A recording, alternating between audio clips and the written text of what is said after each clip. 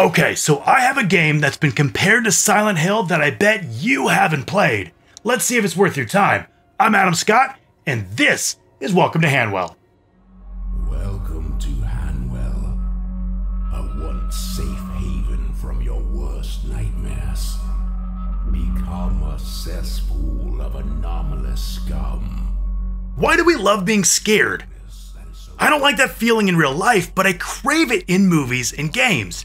And while tons of games try, few succeed in creating that true sense of fear. Welcome to Hanwell is a first person horror game released back in 2017 for Switch, PC, Xbox One, and PS4, and the first game developed by small indie studio Steel Art Software. Even with its small budget, it manages to create a sense of fear and dread that a lot of big budget games only dream of. Set in an evacuated city where you need to collect the six MacGuffins while running and hiding from the grotesque creatures stalking you in the darkened corridors and dank hallways.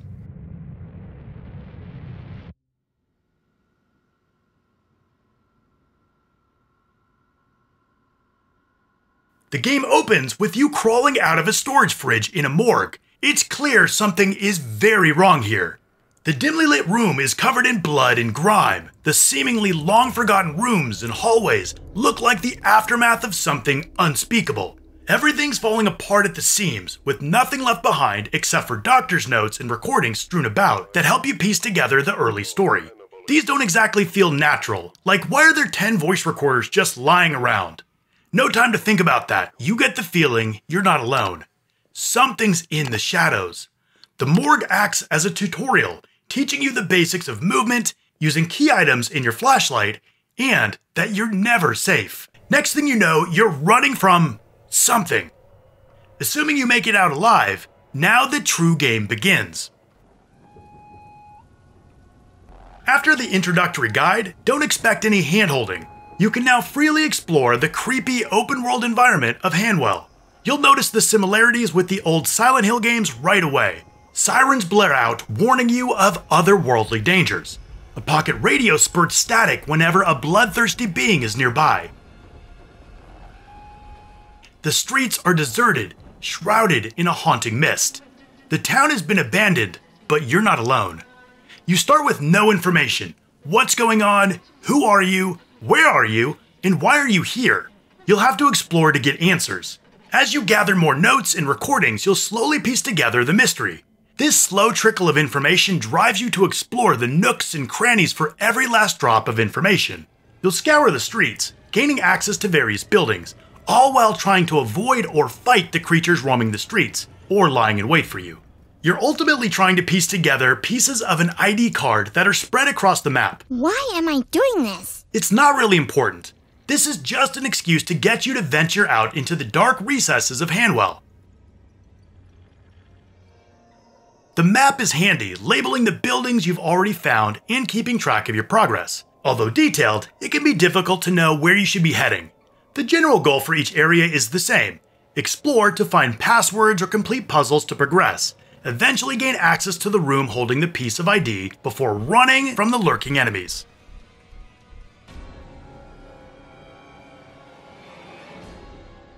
What keeps things interesting is the unique feel of each area and the stories told through the last known words of the former residents.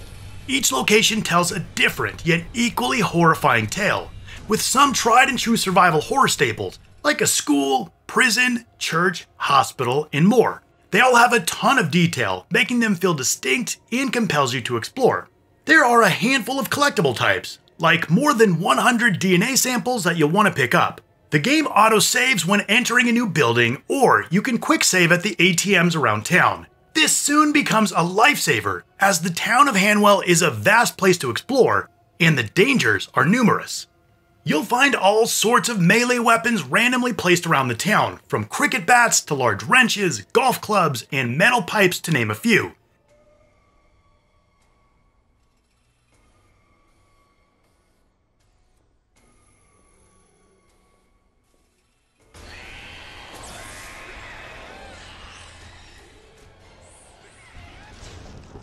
You can defend or strike with the weapons, but the fast movement of the enemies and a lack of meaningful aiming can make this very hit and miss. You see what I did there? For each encounter, you'll have to decide if it's better to run, fight, or hide. And sometimes you won't have a choice, you'll have to fight. Some buildings are secure, requiring you to leave your weapons behind. Most of the time, there's no danger inside, but not always. At points, you'll become tainted, which makes you temporarily blind, which is like the worst thing in the world when everything's out to kill you. I'm blind. I'm blind. I'm blind. You can use special vision to see sounds, which will allow you to navigate the environment. I found this to be incredibly intense. At first. After the first few times, it just becomes more frustrating than scary.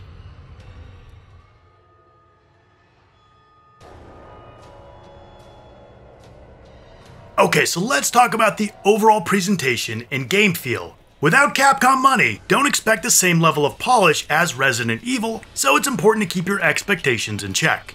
There are undoubtedly some rough spots. Movement and animations are often unnatural, overly stiff and clunky, particularly in combat.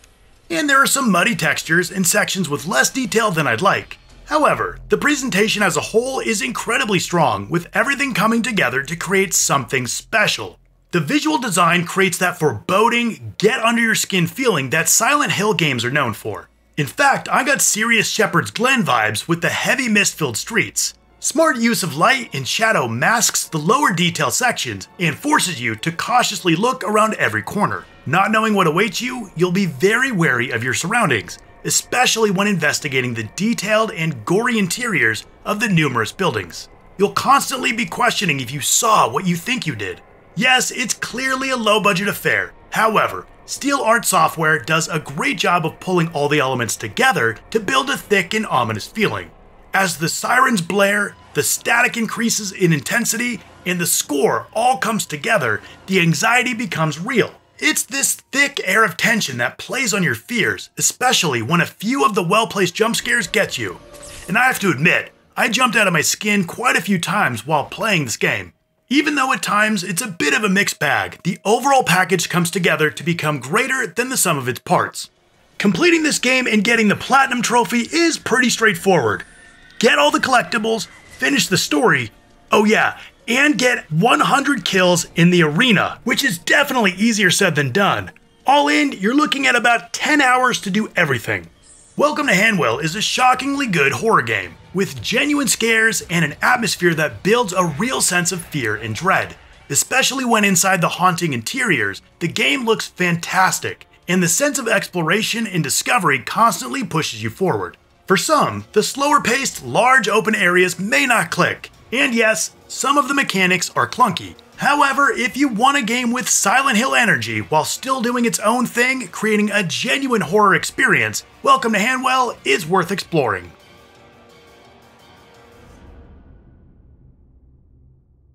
Okay, you've heard my take on Welcome to Hanwell, and I'd love to hear yours as well. Also, what's your favorite indie horror game? Let's talk about it in the comments down below. If you liked the video, hit like and subscribe. And if you want another game that you haven't played, check out my video right there. I want to thank you so much for watching, and I'll see you next time.